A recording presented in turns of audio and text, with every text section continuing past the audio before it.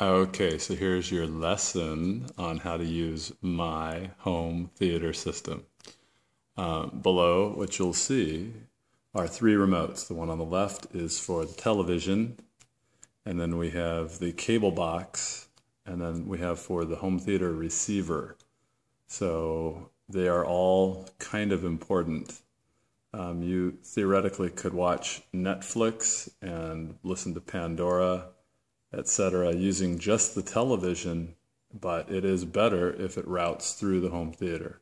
So let's go ahead and look up here. On top, we have the television. On the very bottom in the middle is the home theater receiver. And then on the, uh, on the left, uh, where the clock is, uh, that 311 there, that's the cable uh, DVR. So you can record shows on that. Anyway, so coming over here, we're going to turn on the home theater receiver. Uh, up here is the on and off. So I'm just going to click, I'm going to point it. This one has to be pointed down in the middle and click. And that will turn on. And depending on what you're going to be using, um, and I should point out there is a DVD player, a Blu ray disc player and that's over here where you get that big glare. So just open that glass up there and there's a Sony Blu-ray player. So anyway, getting back to this guy here, and I'm going to move him over so I can maybe see it a little bit better. You got some buttons here and try to focus those a little better. When you want to watch television, you have to push the SAT cable button.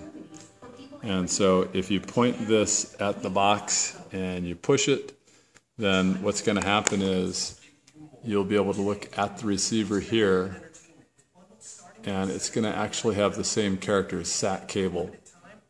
So that means that now you're using the cable box.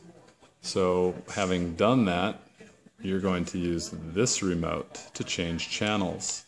So looking at this one, you would change here and you would not use the volume button because everything your volume is basically going to be controlled by the home theater receiver that big uh, remote there. If you want to see what's on you can hit the guide button and you're going to have to point this remote directly at the cable box because it's time warner and it doesn't have i mean it's amazing how you got uh, right right there. Oh, okay got it. So you'll bring that up and that's going to show you a list of what's on tv you pretty much won't use these buttons up here but if somebody sat on the remote and it wasn't working like if they accidentally push the vcr button and you see it going red there it now thinks that it's supposed to be controlling a vcr box and not your cable box so some of these functions would no longer work. So you'd want to come over and hit the cable button. So make sure that's pressed. And that is your on off button. We almost never turn it off. We just let it go. It's just doing its thing. I probably should turn it off, but uh, it is recording stuff for us periodically. Okay, moving down the list. If there was something recorded, you would want to pull up your list of recordings and you would hit the green button. If you want to watch the Bible series, if you want to watch some reruns of Soul Train, etc., you put, you know, point, click, it's going to pull up a list. You'll use your up and down arrows to navigate through that list, and when you get to what you want, you're going to hit the select button right here. Um, if you want to change channels, you're changing them here. Click, click, click, click, whatever you're doing. Or you could even jump page at a time, like so. If you want to see all of my favorites, which what I've tried to do is carve out anything that's ridiculous and just throw it out. So you'd hit the fave button. If you hit the fave button again, it takes you back to the normal list of everything. So don't try and tap it twice. Uh, all the HD channels are pretty much above 400. So my list starts lower than that, my faves because I mean you got to get Gilligan's Island and all that, and you're not going to probably get that in HD. Anyway, um, there's the last button, which is kind of cool. If you If you surf around and you go, oh, wait a minute, I want to go back to where I was, you hit last and it'll bounce you back to where you were. If you hit last again, it'll take you back. So sometimes we'll be watching a recording and we want to pop back to live TV because the commercial's over and we hit last and we'll be back to watching some live show. And then it's commercial time again. We'll hit last and it'll bounce us back to the recording we were watching.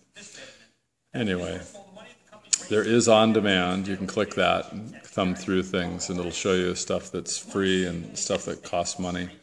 Uh, let's see. And you won't be using the play and fast oh you will. I'm sorry. When you're playing one of your recordings here with the green button then you would be playing and fast forwarding. If you tap that, you got to point it. You tap it once, it starts to fast forward slowly. Tap it again, it goes a little faster. Tap it again, it goes faster still. If you hit it like five times, it'll cycle back to normal fast forward speed. Of course, you get rewind, you get stop, pause, and record. You want to record something, go, hey, I like that. Just hit the record button It'll probably tell you there's not a whole lot of room left on the DVR, but don't worry about it. Just say, just you can continue. Just say, I accept that. That's fine. And you could jump to an actual channel. Like I know that my CNBC is on channel 444, so I just point it and I go 444, and I'm there. And everything else I don't know how to use. Okay, so I guess it'd be helpful if I had the TV actually on. So here's the TV remote. And this is a Bluetooth remote. The keypad inside is broken, doesn't work, but it'll still do what you need it to do. So to turn on the TV, you'll hit that button, and you don't have to point it at the TV. In fact, you could hide it. It'll, it's Bluetooth, so it'll go like 30 feet. So just hit that button, and what I'll show you, what I'll